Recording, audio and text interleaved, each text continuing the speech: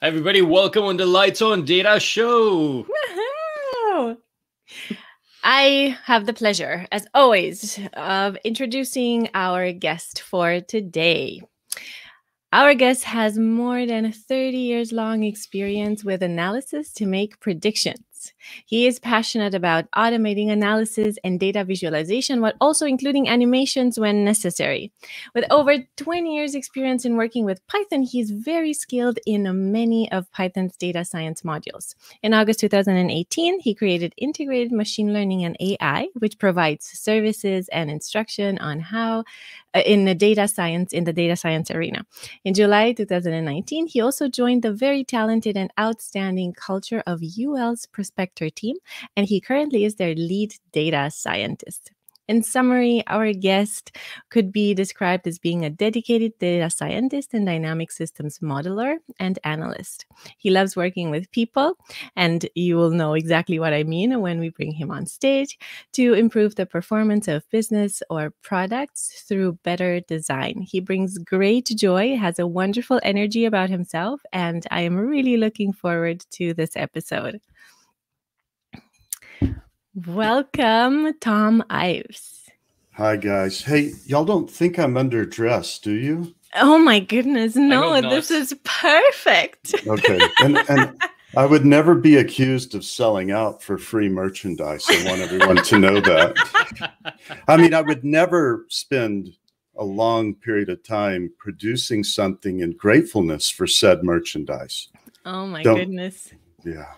That was a great, great lead into something that we want to show you. Well, and before you show that, can I say one other thing? yes, please. It's I've struggled to sleep and eat and focus since the time you invited me to be on this show because I know your show is a little outside my bailiwick, as we call it in the US, but I've learned so much from George's videos and your shows, and it's been good for my analytics focused mind to get out of get into the greater realm of data. So I really appreciate what you guys do so much. That's very kind. And it's really because of guests like you uh, that uh, really you guys are making the, the show what it is. So we appreciate it. And today we're going to talk about how to build a data science career. So we're really looking forward to that. Excellent. But, I before know- that, Yes, I know you brought something in with you today. So Oh, uh, just a just a little thing. just Yeah. a little thing. All right. Let's uh let's tune in to it. Thom, aren't you a doctor? No, Thom, aren't you a banker? No. Thom, aren't you a dentist? No. Thom, aren't you a lawyer? No. No. Thom, aren't you an insurance salesman? No. Thom, aren't you a dentist? No. Hi, Thom. Susan? No, silly. This is your fashion conscience. You sound like Susan Walsh. Well, Thom, can you imagine a better voice for your fashion conscience? Good point. Thom, I see that you are down. Down because people don't see you as the data scientist and data zealot that you are. Exactly. Use that love you have for the history of math and science to figure out how a modern day data scientist and data zealot would dress in modern times. I'm sure you'll nail it. Okay. Excellent. How ancient math and data science zealots dressed. Oh, I don't think that'll work. Ah, yeah, that should do it. What's the modern version of that? Modern version of a cloak. Good morning data show hoodie. Ah, that should do it.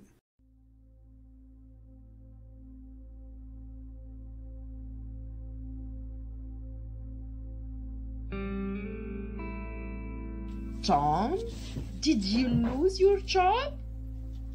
No, Thom, did you lose your job? no, Thom, are you out of work? no, Thom, did you lose your job? no. Thom, I think the Firicans have changed the name of their show.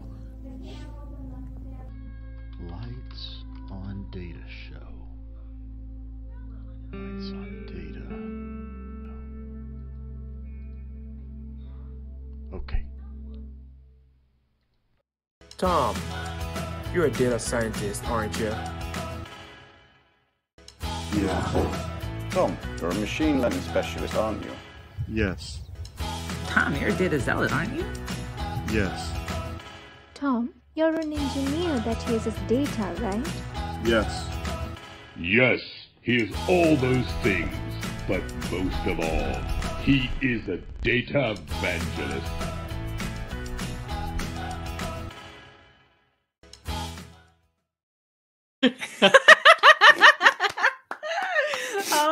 Brilliant. brilliant. well, Thom, you are a data evangelist, but also a great uh, director and editor. Well, So done. I, I've got a little bit of a holdout. That's not the uh, director's extended version yet. So, but it, Oh. it was a, it was enough to get on the show with. And I have to explain when I produce these, they're just my vision. So I'm like, well, I hope people like it. And I want to quote that famous little character in the great artistic movie Madagascar Ah, yeah. you know, uh, compared to how much you guys uh, love them, you hate them compared to how much I love them. Well, as soon as you two liked it, I'm like, okay, my work's done because you know I'm not sure how We it's going to go over. We Uh, loved it. We watched it glad. together. It was so, so, so funny and thoughtful. Really, we're very grateful. Yeah, It- we it was- a few times. It was fun to it was fun to make that one.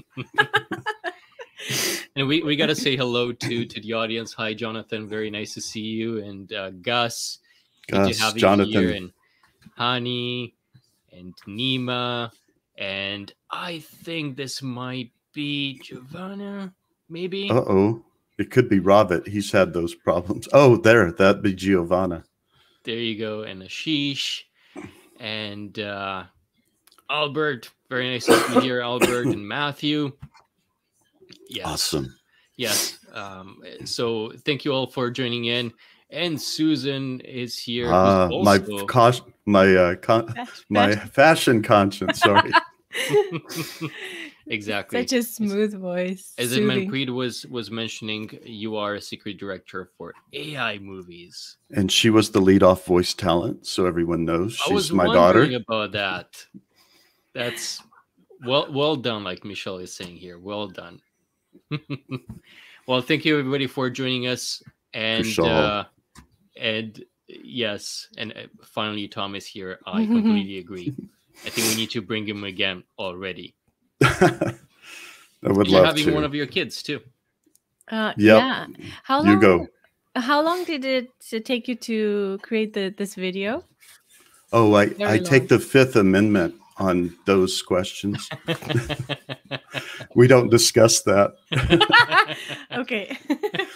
And I have let's another- just say, let's just say I eat up some free time doing it, but it's a labor of love.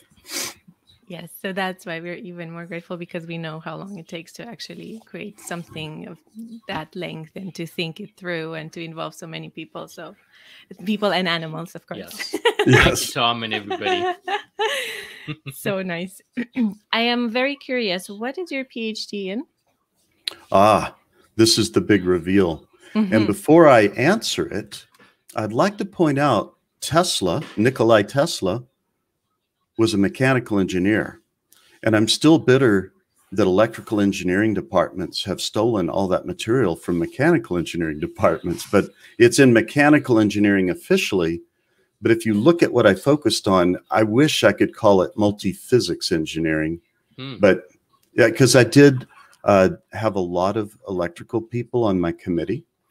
And uh, I took, in my graduate school days, I took a lot of coursework from the electrical engineering department.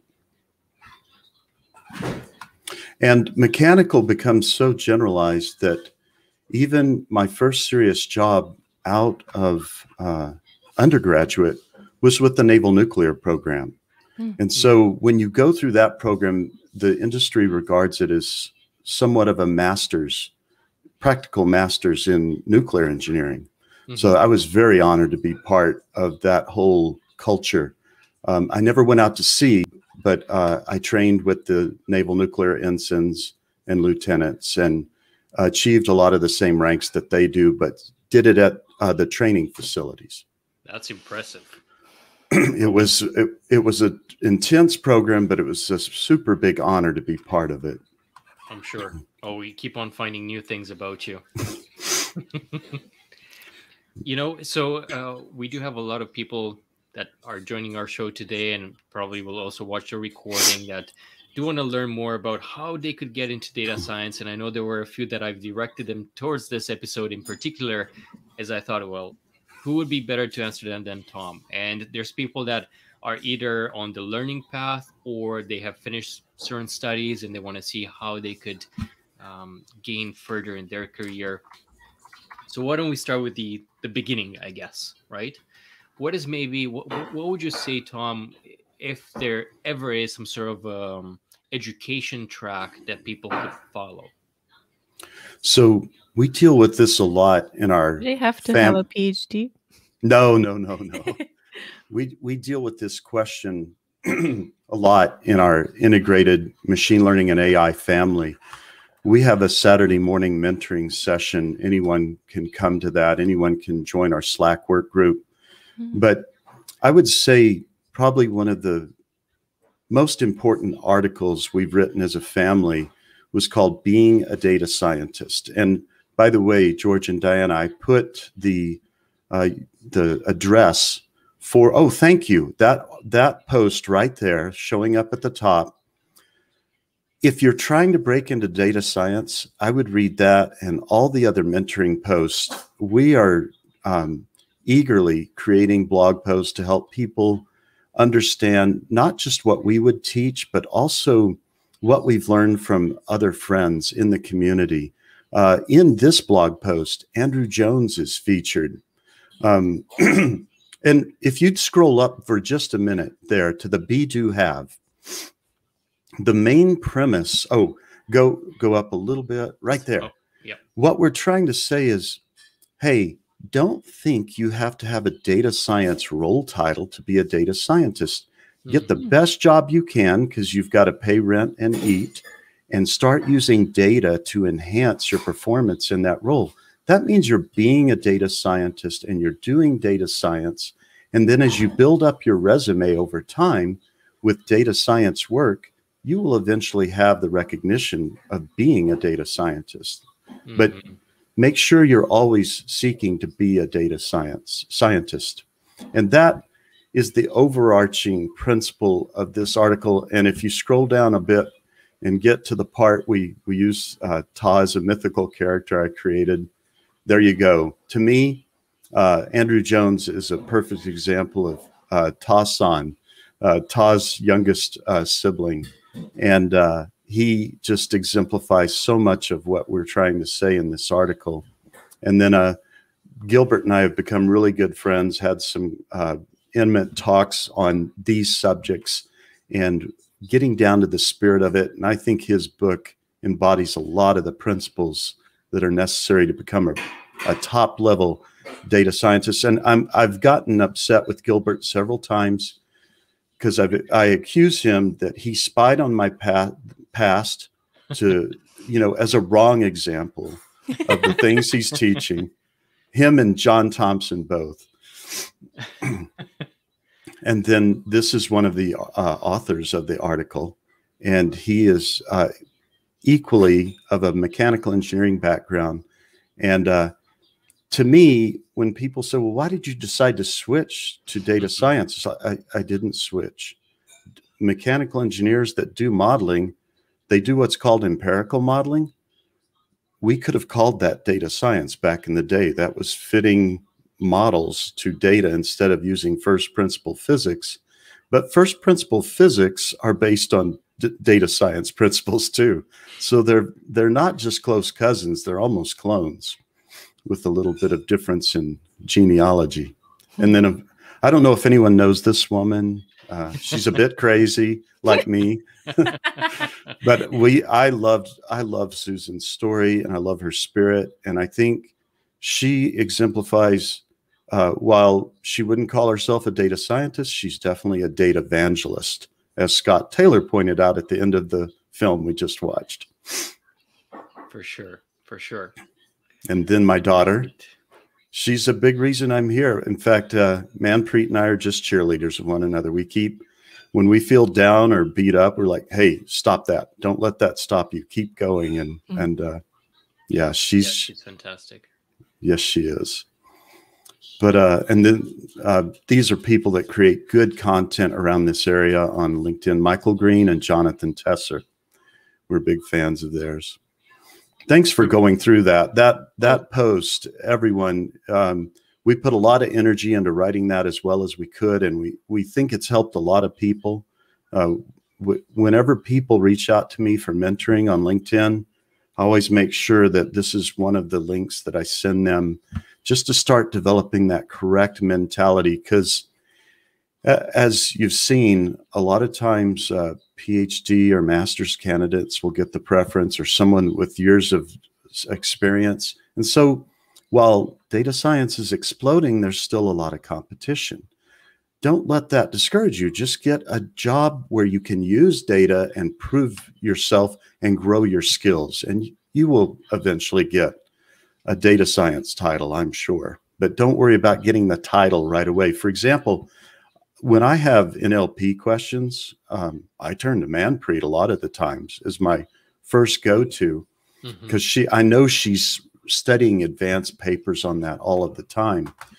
But um, I completely lost my train of thought. Anyway, it's just a spirit of keep going and and build that experience. That's where I was going in from general. what I hear, Thom, I mean, there are so many different starting points that one could have, and there's no um, necessarily direct trajectory or direct path, and you can have any different background. What really matters is what you're wishing for, and what you're striving for, and just Yes. keep on working towards that goal. Exactly. And now I remember what it was. When Manpreet, well, she started as a data engineer with Pact. And I'm really proud of her for that. When she saw how excited I was that she was starting that way, she was a little confused at first. She's uh, Ta R in the story, in the post. And um, I just pointed out, Manpreet, starting out as a data engineer is going to make you a much better data scientist. Just keep using your Python skills and your data science skills to do better in that role. And now she loves that job and she's learning tons in it. And uh, yes, that that's definitely very very good advice. Oh, and thank you, Gus, for for sharing the uh, the link to the article as well. Thank you. and you. there are a lot of people that are already asking for it, so And there definitely go ahead and read it. There was also a question about the link to the Slack channel. Ah, yes.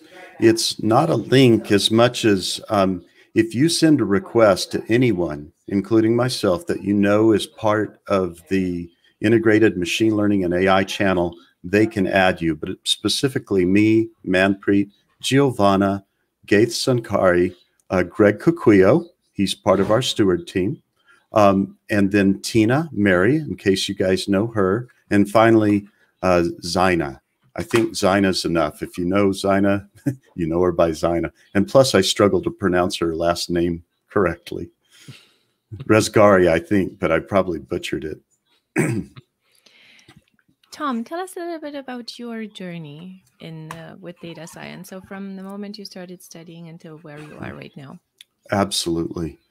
Uh, when I was in undergrad, um, I remember the first time I got geek chills, I like to call it, where you get excited about something intensely intellectual and analytical was uh, it was I was in a modeling class for mechanical engineers, but they were teaching an, a way to model mechanical and physical system, multi-physical systems using a technique called bond graphs that was created by Henry Paynter out of MIT. And hmm. it was it's a graphical way to represent differential equations, which are a, a more involved form of calculus. And when I saw how beautiful they were and how visually they demonstrated how the the differential equations of a system come together, I was immediately fascinated. And then when I did my senior design project, because of that course, it occurred to me, oh, I need to model, I need to predict the dynamics of this system before we build it so I can have a clue about the parameters. Well, it just occurred to me I was doing virtual prototyping and I was hooked. And I could never stop think as I was learning the various systems in this giant nuclear power plant that would have floated normally, but it was in the middle of the Idaho desert. Uh, it was a replica of the third plant of the USS Enterprise nuclear powered aircraft carrier and and I would be in charge of running this plant as a young man, and I had Watts supervisors on both sides, but they really emphasized theory to practice in that program. So it was actually just helping my modeling brain grow in in that time that I worked with our nation's naval nuclear program. Just an outstanding program, by the way, and it's changed a lot, but it was very good back then still. And then I was eager to go back to grad school. So I was intent on becoming an expert at predicting system behavior before it was built. And as you can imagine, you can't always use first principle physics to model those things. So it, this is like F force equals mass times acceleration, force equals a spring constant times how much the spring stretches, you know, just starting at that, that's first principle physics. But sometimes we'd have a system that a subsystem that was kind of complicated and we would have to take measurements as we change parameters and come up with what we call an empirical model pretty much data science and so even throughout my phd program there were empirical models that people had developed that had saved my bacon in my research and my research was on design and modeling of hybrid electric vehicle power plants and the models were very accurate. I was so pleased, and I learned a lot from my mentors. and then I went on um, to work for some companies that I was able to land those jobs for two reasons my modeling skills, but also because I had a real emphasis on design methodology, uh, how we go about designing systems and such. And uh, as I moved through that, I just saw a shift in more of an emphasis on using data and processing data and automating the visualization of it using statistics based models because we couldn't take enough measurements. And before long, I, I, found myself changing companies a time or two. And I, I went to a friend that's, he's basically, well, no, he isn't. He's a, a cloud architect expert and he works for Microsoft now. And we're dear friends. And I, I just said, Scott, I, I really want to take my career this way. And I, I thought you'd be great to talk to. And he listened to me carefully describe my career. And he goes, Thom, you're a data scientist. And I went, Well, yeah, I'd say that. He said, Well, Thom, do you realize how hot that field is? And I said, Scott, you're talking to the worst person on the planet about current events, especially in the tech area. And uh, he said, Well, Thom, you you really should focus on that. And then I realized, oh, I basically already know this stuff. It's just I'm behind on the league lingo. And I'd learned neural networks and expert system design in uh, grad school. But, and I'd been continuing to do empirical modeling here and there in my jobs. But when I saw how the field had exploded and why, I got re energized all over again. And then it dawned on me oh, this is a field that requires constant learning and growing. Yeah, I really, I really got excited then. And so, uh, but I realized the thing that I knew I needed all those years was an online portfolio. The way you get new jobs had changed. So I started emphasizing building an online portfolio, having a, a strong online presence. And it took a while to build it but there's so much good advice and help out there on how to do it. And it's at this point I usually like to quote my young friend Louis Owen from Indonesia, very talented Indonesian data scientist, works for World Bank. And he said this to me one time when we were talking, helping each other with some keynote talks. Thom, it's not the best data scientists that get the positions, it's the most visual ones. Mm. And then I, I operated in that premise, but I, I went, I don't know if I've gone back to him to say this, but it dawned on me, you know, as you're trying to be very helpful to the community and more visual, it actually causes you to grow quite rapidly in your data science or whatever field you're in, really. If you're trying to give back to the community and and be more visual in that method, it does help you grow a lot. That's that's quite a story and the message Mhm. as well. Uh, I- I want to have a question here. Um, uh, wow, where is it? Where is it? Matthew had it. We're going more into details here, but you know, what would you say? What would you say? Uh, to what extent is AI important for data science? And I quickly prepare this. Um, and I and I'm you know I I'm wondering. I think Matthew is really referring to: Do you need to uh, um, go into understanding AI, developing algorithms for AI in order to be called a data scientist? Um, let as as many people know, I am just a passionate um, learner, student of the history of math and science. And I think what we're going through now with what I would call the data age, it's not like we haven't had data all along. It's just that now its usage is exploding. And if anyone's seen the movie Current Wars, where they portray George Westinghouse, Thomas, Thomas Edison, Nikolai Tesla, and others, um, I would say we're looking very much like that era. And to me, George, you're kind of like a George Westinghouse in that movie. You're saying, well, I'm an industrialist now, but I'm an industrialist of data, and we need to be careful how we use this. We need to be careful how we move forward. And it's interesting. Thomas Edison was brilliant, and so was Nikolai Tesla, but they had different emphases or emphases, however you say that. And um, but as we know, that even back in that day, there was this argument over what was better, DC or AC. Now we know for long distance transmission, it was AC. But even someone as brilliant as Thomas Edison was arguing about that. And there was a lot of flux in terminology back then that would confuse new people coming in the field. I think we're wrestling with that now.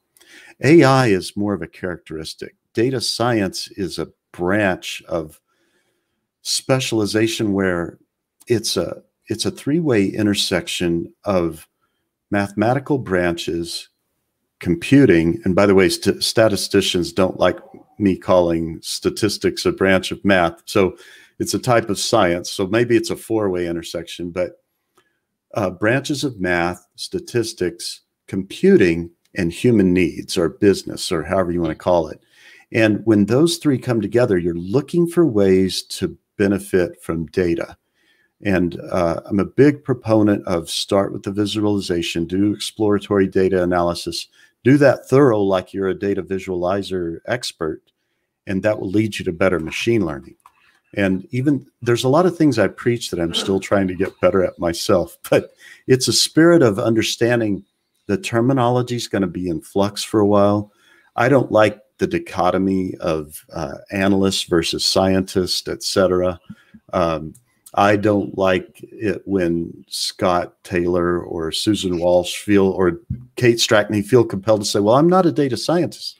Yeah, but you're doing really good work in the realm, 80% of the realm we have to work in anyway.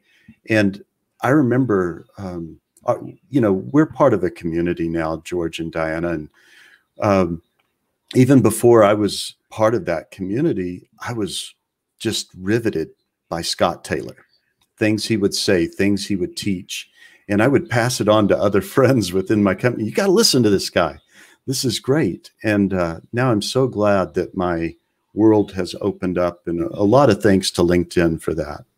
Uh, they create a platform where we can create these communities. So basically, another great advice for people who want to work in data science or to expand their field is to network, and a great place to do it is LinkedIn and to connect Yes. with, with the people. and go a little go a little outside your own realm into the associated realms, which is why the three of us are friends. I when I listen to you, Thom, the, the, one of the main things that comes to mind are, oh my God, Thom is so smart. I could Mm. never be like him because you know everything that you you just said and how you described it it's like Thom is the chosen one and, uh, and nobody else could be. So um a, a data scientist as good as him. So i wanted to to ask you if people wouldn't go you know your path which is you know amazing and very deep as well. Um, where would they start? So besides you know doing data science work but even before that I I love I love to use sporting analogies for this and hiking analogies. And is my uh, dog barking noise too much in the background? no Excellent. no okay, it's good. very homey we like okay, okay, good. Because someone's being bad out there. Um, so it- it's been a while since I've been to the gym because of COVID, and uh, I'm I'm trying to explore getting back there or something. But um, sometimes I go to the gym, and you know, at the gym, I'm relatively a big guy, but you know what? There's always someone bigger, and and I think you know what? They've been here and been more devoted in their muscular building than me. And I, I'm not trying to be, you know, Arnold Schwarzenegger or someone like that, but I'm thinking, oh, you know what? It was time at the gym. It was learning, mastering the basics on diet and lifting and recovery. And um, it just takes time. I mean, look, I'm almost 60.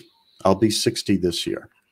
And I know everyone was thinking I look 40, but uh, Mhm. the point being, you know, I there were I remember vividly sitting in uh, dynamics as an undergrad and going, "What?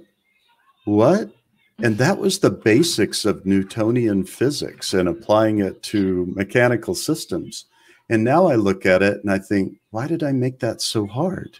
Hmm. And so now when I try to help others that are where I was then, I'm thinking, how can I make this more simple? What was not said that would have helped me? And and I think we always need to do a better job helping the the younger generations get to where we are faster, quicker.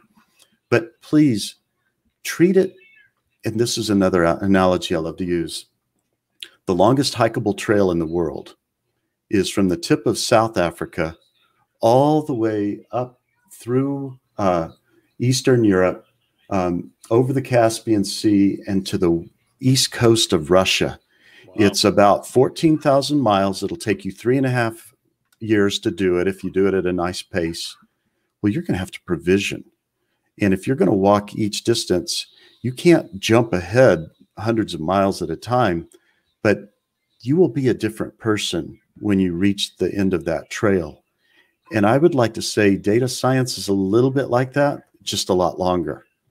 But enjoy the journey, enjoy the hike. Don't try to forego the basics. Don't jump into deep learning. Uh, there's, as I, I know David Langer would back me up on this, and Danny Ma too. Yeah, exactly. That's what it can feel like if you jump right into it. Hold your breath. Um, it- there's so much that can be done with linear and logistic regression if you know how to use those tools well. And there's a lot that can be done with very basic neural networks. But the what I try to point out to people is you should try out many models in any if you're going to go to modeling that is you don't always need to go to modeling sometimes data visualization's enough but if you go into modeling explore all the models but always visit linear regression and logistic regression because they they tell you so much. Now my buddy david langer the pirate that's always saying r because he's in that other language which is a great language by the way. Uh, he loves getting people started with decision trees and random forests and i see why. It, it solves a lot of problems that you have to solve with linear and logistic regression but i'm the tony stark mentality that says is it too much to do both you know let's and I, I like that approach using them both and seeing what you can learn from each of them So, in the summary answer to you, Diana, is it's it's like if you're skinny in your data science knowledge and your data science skills, just keep going to that mental gym and keep working out. You'll get there. And and you should take uh, you know one step at a time and start learning all these different skills. And maybe this is not the right order, but it's really trying to get the message across. I love that order. By the way, people say, "Well, where should I start?" Hmm. Well, if you get really good at Python first, or just st- start getting some skill with Python, then you can actually start coding what you're learning in the other steps, and it'll be more fun for you. You'll have more skill because in at the end of the day, we need to automate the analyses we're doing, and that's why Python and R are so popular. We can use them to automate things, and um, some people may say, "Oh, you should start with something with C or, or C++." I'm like, "Well, yeah, I learned those too. I started with Fortran on punch cards back in the day, but you know what? Then at the end, you still have to learn to code and program well, and you want to pick up good principles. That's why you've seen me do posts on uh, Dave and Andy's book, The Pragmatic Programmer. It's been out for 20 years, still a bestseller. Why? Because they're very pragmatic about programming. Right. Right. And okay, and once you are learning all these skills, you're building your portfolio. One of the issues that I've seen is so recently I'm I'm doing this video on what the difference is between the data analyst and the data scientist, just because so many many people are asking about it. And anyways, uh, and like you said, maybe it's not good to go there. But I was reading maybe over a hundred job descriptions, and most of them were asking for experience. So as a data analyst, they were asking, well, you have you need to have at least two years worth of experience as a data scientist, you know, even more. How does one get that experience if they're unable to right like to get experience, they're asking for experience is the catch 22 piece. Do you have any recommendations for people that are just getting out of school? Absolutely. And it really goes back to that blog post we were talking about at the beginning of the show. Yeah. Yeah. It's this spirit of, hey, how many roles out there could be done better with data science or or data analysts, data analysis or business analysis? A lot of them. I want to point out to the audience, I've been doing data science in my mind since freshman year of undergrad in 1980. I did my first least squares fit of data in physics lab and I was in love. I thought that is too cool. I just found a way to put the minimal error line through all these data points. That is so cool. Well, there's a lot of jobs where they don't say they're data science, but you're doing a lot. You could do a lot of data science in that role. Well, build your resume. In this role, I applied data science principles to achieve these things. Then in my next role, I applied data science or machine learning principles to achieve these things. I automated some data visualization data uh, dashboards with Power BI or Tableau or uh, Google Data Studio or even Python or R and and created well if you've got those catchwords in your resume and it's legitimate you're you are a data scientist you just don't have the title. So again don't fixate on getting that role title right away but do care about getting a role where you can make the biggest difference with your passion for data science or data analysis skills and then before long you'll realize oh i'm in demand for data science roles or business analyst roles etc um, yeah I think that's it in a nutshell.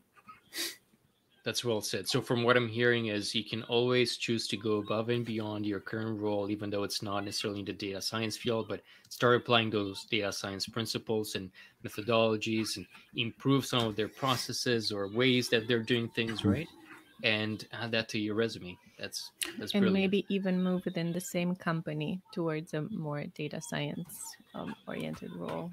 Mhm. Yeah. Now I want to I want to make a confession to the audience because I want them to avoid some bad habits I developed. Um, I, I've always been pretty um, natural at speaking, but I took that to to to think, oh, I, I don't need soft skills practice, and I don't need to. You know, I've been a salesman, you know, outside of the engineering realm many times, and so those skills are good. You know what? This uh, I arrived mentality. I'm already great at this. Is is a killer. I wished I'd had a spirit of I'm okay for my age. What I need to do is keep growing these skills. So please, everyone, buy Gilbert's book, buy John Thompson's book, subscribe to my dear sister's channel, uh, Giovanna, uh, her soft skills channel. Start learning these things. Um, and but don't think, oh, I'm good at that. I'll go focus and always look, where could I do better? Where could I do better? That was a big failure I made because I wasn't integrating as well with my teams as I could have. I wasn't helping people with super frequent feedback on the tools. I, I made some great tools that didn't get used enough because I wasn't getting off my butt and out of my cube and helping people know how to benefit from them more. And that was on me, by the way. Well, what was that? That it wasn't necessarily that I lacked the soft skills. I wasn't putting enough emphasis on using them and interacting with people. That's that's well said. And I want to add to your list. Definitely follow Thom if you aren't already engaged with him. Check out his Would love it. channel, and of course, go to integratedmlai.com.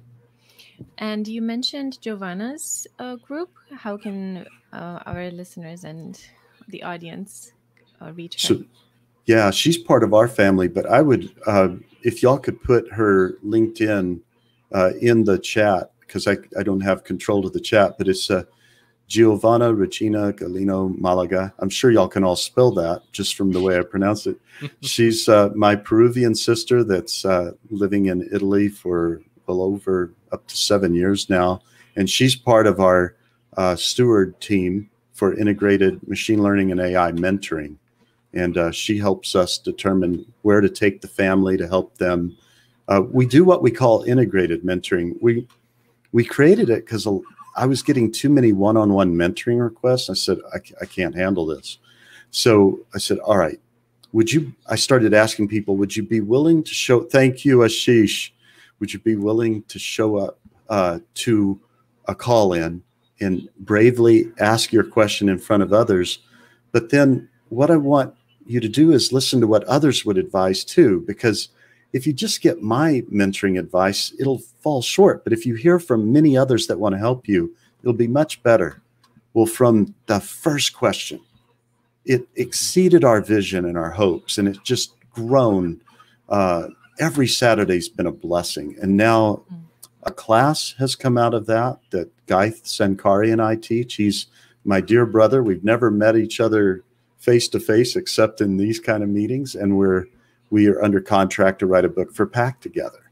And but we that was born out of us wanting to help our integrated family learn detailed data science principles in the way that we like to teach them and do them. And uh, it's just keep keeps going. And now I've had to add a couple of uh, mentor calls on deep tech questions uh, at two times in the week that we're just getting started with that. Mm-hmm. And we'll record those and add them uh, to a YouTube channel for uh, being able to rewatch too. Please, please do. Can and- we be your distant, distant cousins in that family? Because you. Oh my, no. Uh, we we will adopt you as full siblings. We would oh. love to have the Firicans be part of our integrated. Why? Fa- because we're married. well, so if, so if one of us is in the family, then the other one is exactly. okay.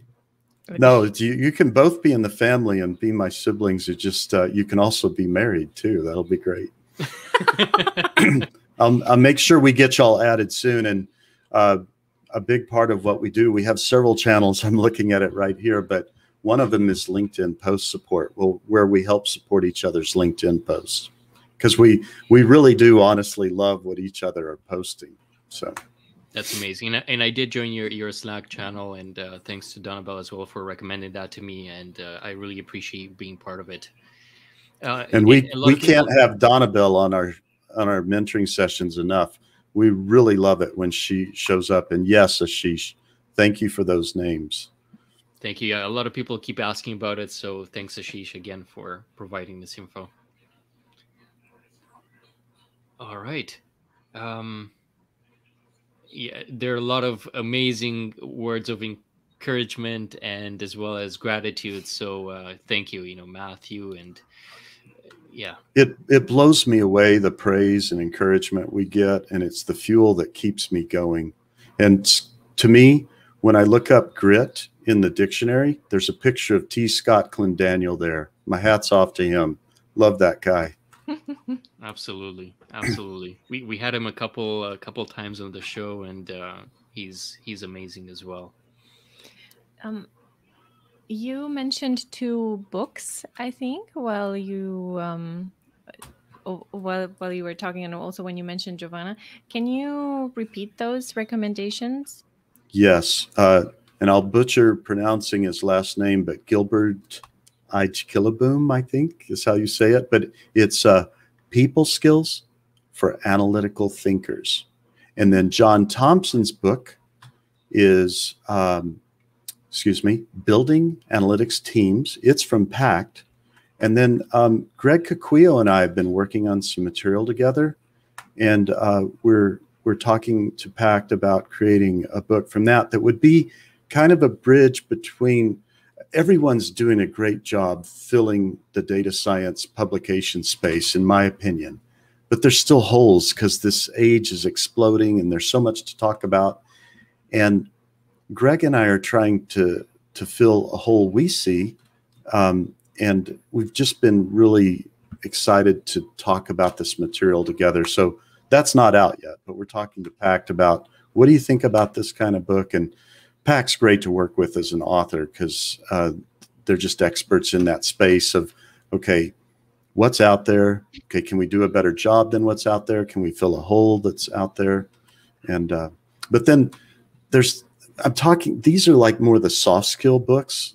Obviously, tons of technical books out there that are right. worth writing. And I, I did a little video on Dennis's book that I think some people saw.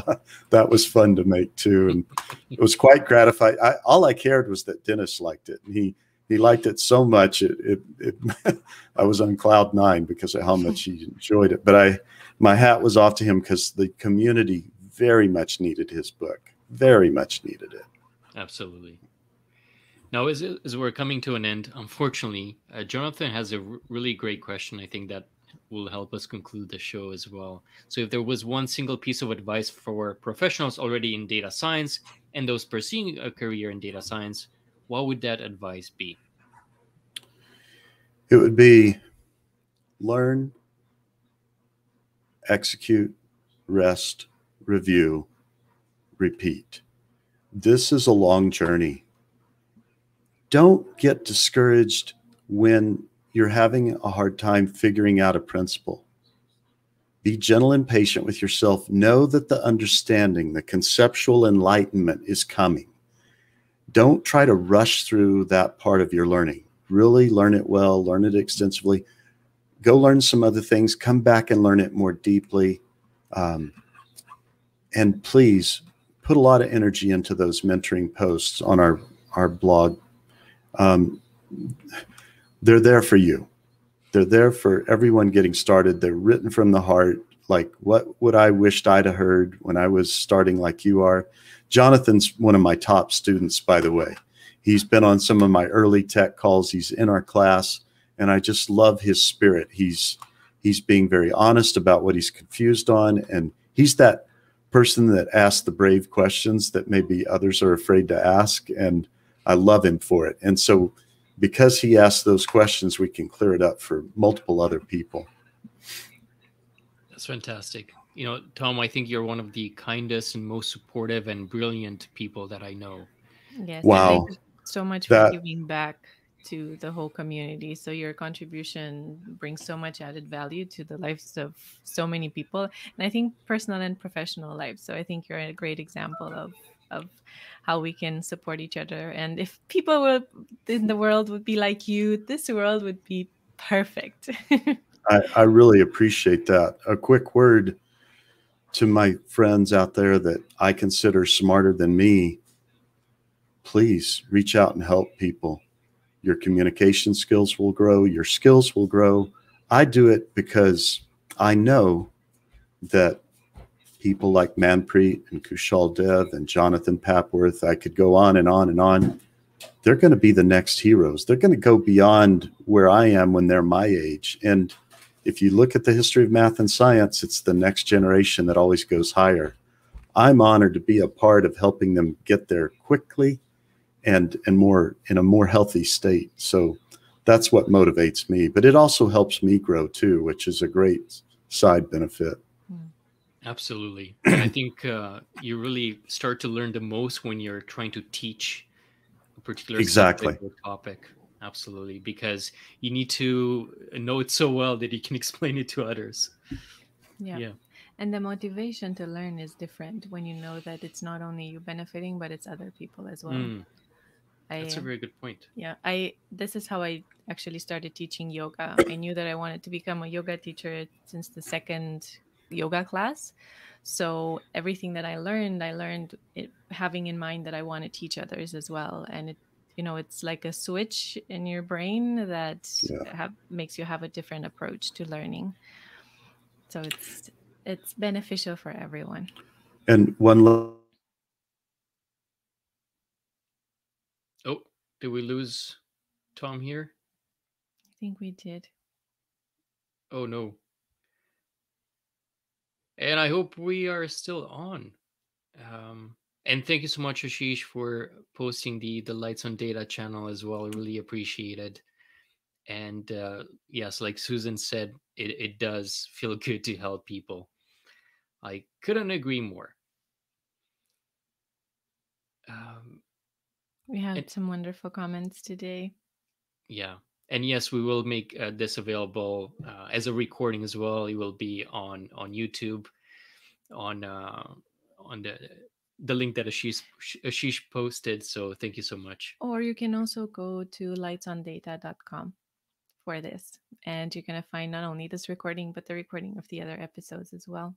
And thanks for letting us know, Scott. Uh, sorry that we we lost uh, Thom, but we're we're coming to a close here.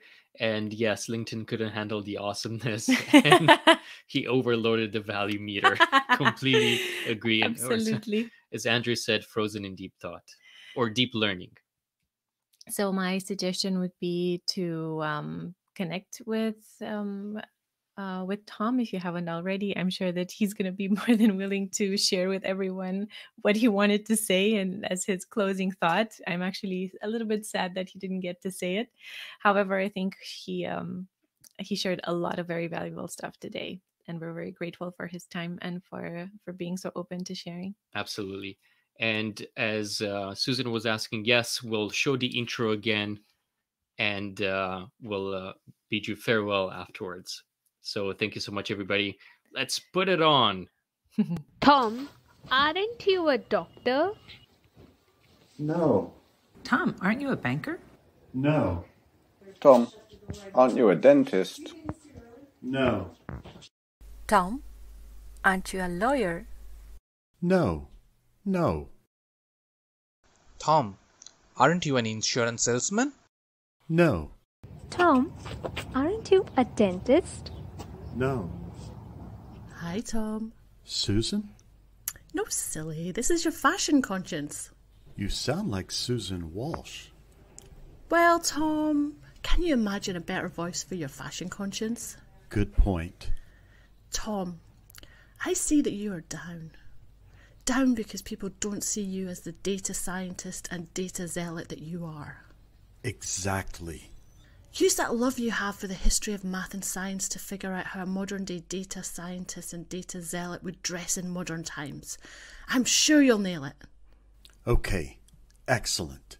How ancient math and data science zealots dressed? Oh, I don't think that'll work. Ah, yeah, that should do it. What's the modern version of that? Modern version of a cloak. Good morning data show hoodie. Ah, that should do it.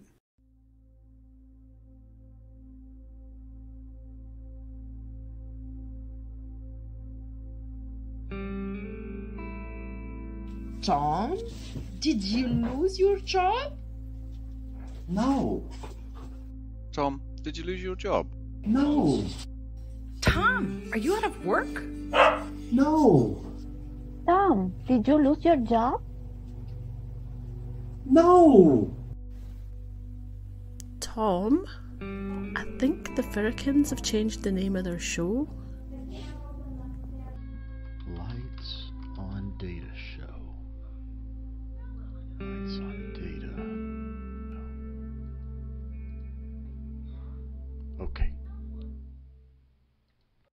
Thom, you're a data scientist, aren't you? Yeah. Thom, you're a machine learning specialist, aren't you? Yes. Thom, you're a data zealot, aren't you? Yes. Thom, you're an engineer that uses data, right? Yes. Yes, he is all those things, but most of all, he is a data evangelist.